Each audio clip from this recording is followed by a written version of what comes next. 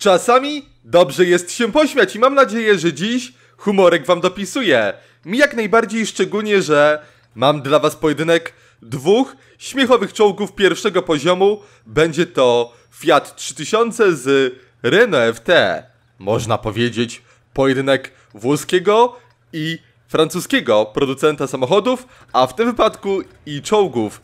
Moi drodzy, nie dało się rozegrać randoma Fiatem 3000, po prostu nikt nie chce grać na tych tierach, ale specjalnie z waszą pomocą zorganizowałem starcie 15 na 15. Jak gra nie pozwala, to my zrobimy i zobaczymy dziś, kto jest lepszy. Na początek jednak parę słów o parametrach tego pierwszego tieru.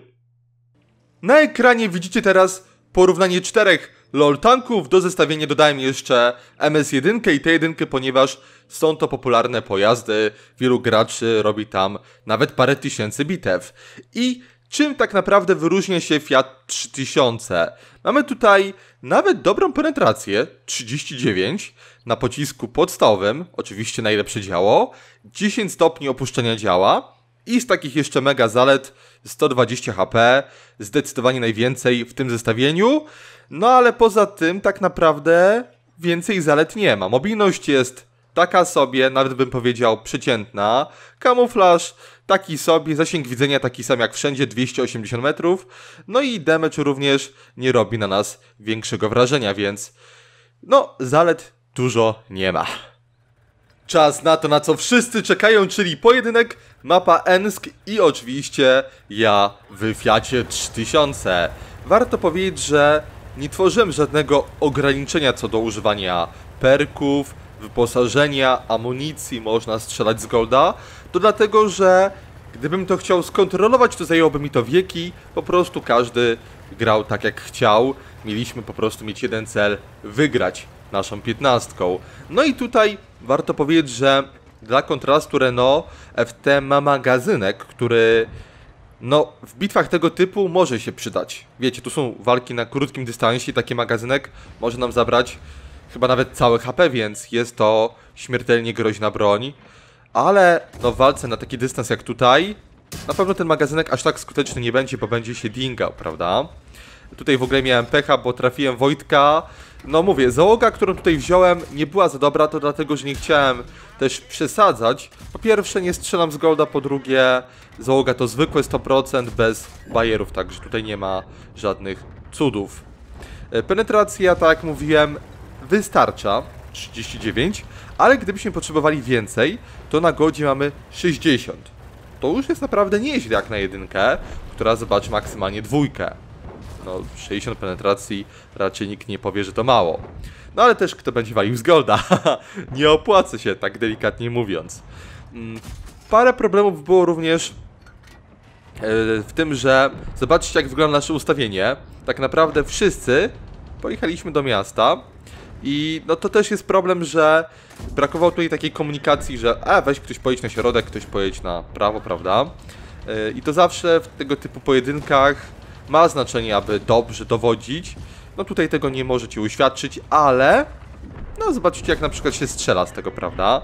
Działo jest w miarę komfortowe, szybko celuje i tak naprawdę tak wyjeżdżając na parę sekund zdjąłem y, Renault FT Trimiganą. Przyjemnie. Także Fiatem się ogólnie gra całkiem przyjemnie na takich małych mapkach. Na małych mapkach.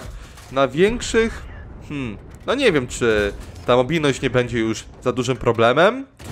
Porównując go z innymi jedynkami, bo ja wiecie, że troszeczkę jedynkami w przeszłości grałem, szczególnie kiedy była jeszcze Proliga i tam się grało na te jedynki pamiętne z magazynkiem.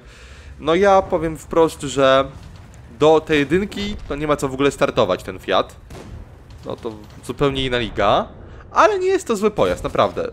Są gorsze, mogło być gorzej, ujdzie, prawda? Tutaj zobaczcie jak fajnie można było zrobić manewr. Dwa czołgi dobite. Myślałem, że zdejmę jeszcze Venoma, ale Tomik mnie wyprzedził. No, szybszy był tutaj. I też już ma cztery fragi. Zostajemy w dwójkę na trójkę. Rywale atakują nas z kilku stron, z lewej, z prawej, no i jeszcze przed nami jest kolejny pojazd. Uznałem, że wyjadę na tego FTK, ale nie zdążyłem się już cofnąć. No Gold mi po prostu pochłonął, także tu tutaj amunicja premium bez problemu przebijała ten pojazd. 8 uszkodzeń zablokowanych przez pancerz to raczej dość dobrze pokazuje, że Fiat no nie dinga za bardzo. Z daleka na tak naprawdę dystansie 300 metrów, kiedy rywal nie będzie miał golda, ok, ale z bliska z golda, eh, nie ma szans. Nic to nie będzie odbijało 16 mm, czyli firanka. Przechodzimy do drugiej bitwy.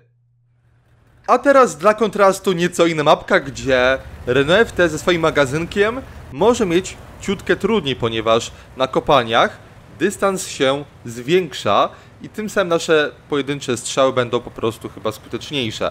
Taką mam nadzieję. Oczywiście jest też sporo problemów.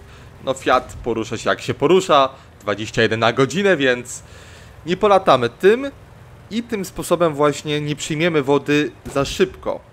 Bo tam teraz na przykład ja się kieruję, ze mną jedzie jeszcze parę innych pojazdów. Czekajcie, ile nas tu jedzie? Jeden, drugi, trzeci, czwarty, piąty, szósty, siódmy, ósmy, osiem czołgów, słuchajcie, jedzie na wodę troszeczkę przerąbana sprawa, nieco za dużo. Na środku naci mogą mieć delikatny problem, ale miejmy nadzieję, że jakoś to będzie.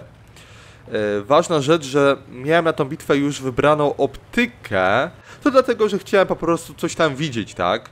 Wiedziałem, że optyka się może przydać, dlatego też tu jechałem w krzaczki. Siatki maskujące nie miałem, od razu mówię. No i teraz zobaczymy, czy to się opłaci, czy coś będzie przejeżdżało, póki co cisza. No rywale w FT zdecydowanie środek, tutaj jest ich więcej, prawie cały team. No i ciekawe, czy to się im opłaci, no póki co tak średnio. Tutaj e, przepycham się z Krzysztofem, e, ustawił się obok mnie, no to nie jest do końca rozsądne, no ale wiadomo, teraz to już trudno. No i zobaczcie ten strzał, za ciekawy to nie był, a jego magazynek już mnie mocno obił, 42 HP. Ale znowu gold, prawda? Wiadomo, że z golda na tych magazynkach strzelają. E, tutaj mogę wam powiedzieć, że mm, brak żarówki się odezwał. Gdybym miał żarówkę, to no zachowałbym się ciutkę lepiej, ale wiadomo, kto będzie miał żarówkę na Fiacie. I już teraz chyba widać, że ta bitewka jest wygrana. 5-1.